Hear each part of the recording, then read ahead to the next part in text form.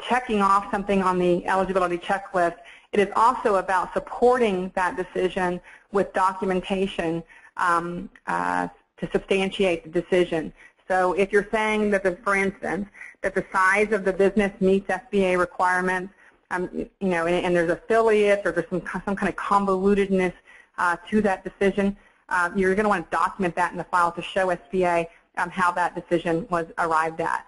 Uh, debt refinancing might be another one where if it is a long-term note that's being refinanced, you're going to want to document that there was at least a 10% improvement on you know, uh, the notes that have been refinanced, things like that. So the documentation is important, very important for eligibility because this is what separates an SBA loan from your non-SBA loan portfolio.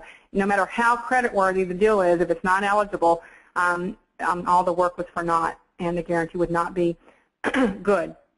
The other three categories, credit analysis, closing documentation, servicing liquidation actions, have somewhat of, um, uh, you know, some give and take with SBA. Obviously, a credit analysis is um, and the underwriting done by the lender. It can be somewhat second guessed by SBA if the loan defaults early. But just be aware that there are some what I call the SBA way uh, required on some parts of the credit analysis, like that collateral analysis or how much equity injection verification is required, um, you know, the verification of IRS tax information, uh, that kind of thing.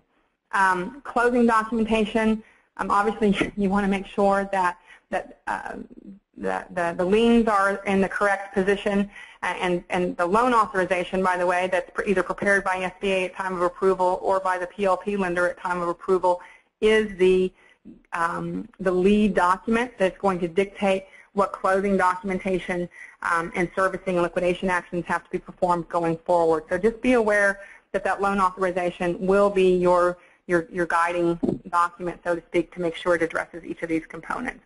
I'm not going to go through each and every bullet on this page. I don't think it's necessary. You guys can read it and also can get a copy of the checklist. But I wanted to kind of put it in this kind of format, these four categories, so you could see SBA's approach.